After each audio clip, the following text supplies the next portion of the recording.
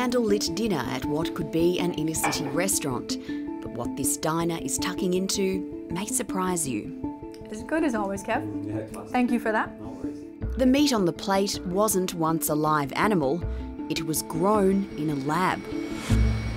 Far from any farms, we're in a factory in the inner Sydney suburb of Alexandria where tiny meat cells will be grown into real meat that will then be formed into pates and other products that will find themselves onto the plates of diners in Singapore and likely soon Australia. We look at all of the animals out there and we say, what would taste the most delicious? What would be the most nutritious for people? First, cells are extracted from an animal, dead or alive, then they're multiplied in big tanks like this. And what we do is we put the cells in a nutrient broth that is essentially recreating a lot of the conditions in which cells grow in our body in a way that's very similar to what you'd see in a brewery. Eventually, it forms a sludge like paste which can then be turned into burgers, pates, or foie gras. And we were able to achieve a really delicate, kind of more velvety, silky texture. Professor Dora Marinova from Curtin University says consumers will want to know how lab grown meat will affect their health, while businesses are capitalising on environmental concerns. There is more awareness of the high environmental footprint of the food choices that we have, and red meat has a very, very high uh, associated greenhouse gas emissions. Lab grown meat or cultured meat we know that it requires much less land, but there are some questions asked around the use of energy because it's quite an energy intensive process.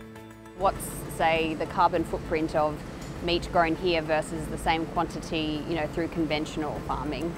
This facility, as it scales, has a lot of potential, even over the next year or so, to be roughly 50% the carbon emissions that the same equivalent amount of chicken to produce.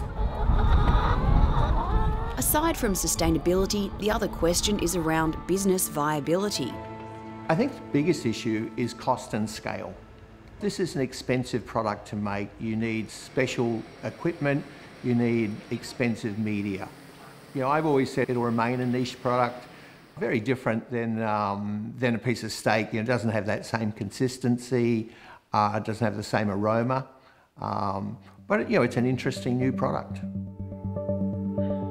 Professor Paul Wood is a biotechnologist and barbecued meat enthusiast.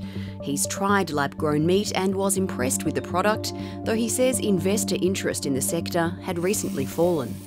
We're down probably at about 10% of the capital that was available a year or two ago.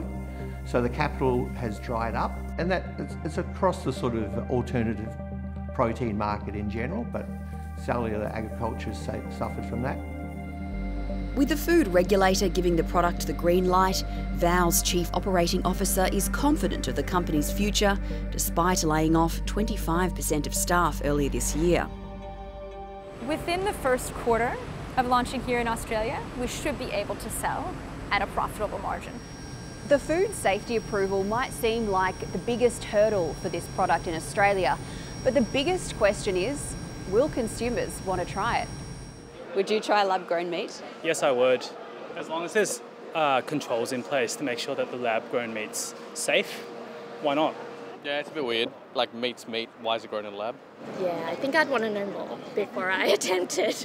I probably wouldn't because I'm vegan. If it's proven safe, um, yeah, I wouldn't mind giving it a go. Yeah, just out of curiosity and see how it compares to real meat. Lab to plate could be on the menu within months.